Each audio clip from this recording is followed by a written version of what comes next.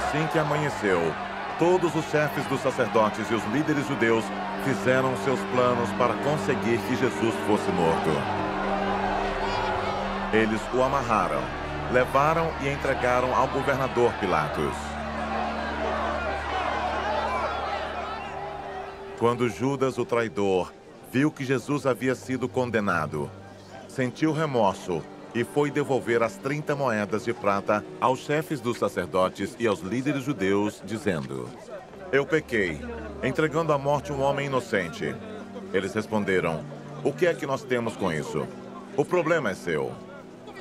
Então Judas jogou o dinheiro para dentro do templo e saiu. Depois foi e se enforcou. Os chefes dos sacerdotes pegaram o dinheiro e disseram: Isso é dinheiro sujo de sangue, e é contra a nossa lei pôr esse dinheiro na caixa das ofertas do templo. Depois de conversarem sobre o assunto, resolveram usar o dinheiro para comprar o campo do oleiro, a fim de que servisse como cemitério para os não-judeus. Por isso, aquele campo é chamado até hoje de Campo de Sangue. Assim aconteceu o que o profeta Jeremias tinha dito. Eles pegaram as 30 moedas de prata, o preço que o povo de Israel tinha concordado em pagar por ele, e as usaram para comprar o campo do oleiro, como o Senhor me havia mandado fazer. Jesus estava em pé diante do governador, e este o interrogou, dizendo: Você é o rei dos judeus?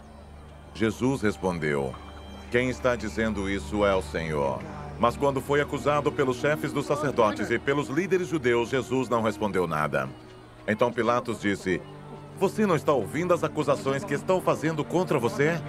Porém, Jesus não disse nada. E o governador ficou muito admirado com isso.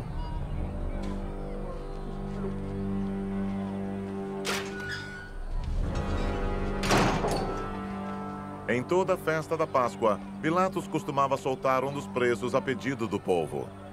Naquela ocasião, estava preso um homem muito conhecido chamado Jesus Barrabás. Então, quando a multidão se reuniu, Pilatos perguntou: Quem é que vocês querem que eu solte? Jesus Barrabás ou esse Jesus que é chamado de Messias? Pilatos sabia muito bem que os líderes judeus haviam entregado Jesus porque tinham inveja dele. Enquanto Pilatos estava sentado no tribunal, a sua esposa lhe mandou o seguinte recado: Não tenha nada a ver com esse homem inocente, porque esta noite, num sonho, eu sofri muito por causa dele. Os chefes dos sacerdotes e os líderes judeus convenceram a multidão a pedir ao governador Pilatos que soltasse Barrabás e condenasse Jesus à morte. Então o governador perguntou: Qual dos dois vocês querem que eu solte? Barrabás, responderam eles. Pilatos perguntou: Que farei então com Jesus que é chamado de Messias? Crucifica, responderam todos. Ele perguntou: Que crime ele cometeu? Aí começaram a gritar bem alto: Crucifica!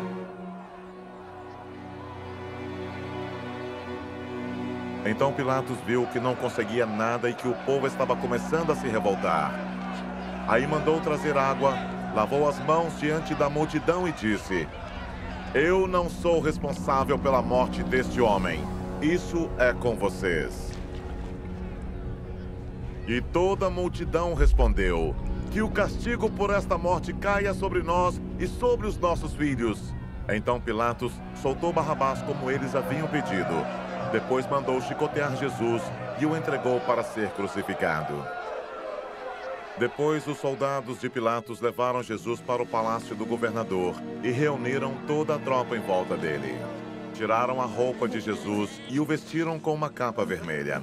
Fizeram uma coroa de ramos cheios de espinhos e a puseram na sua cabeça e colocaram um bastão na sua mão direita. Aí começaram a se ajoelhar diante dele e a caçoar, dizendo: Viva o Rei dos Judeus!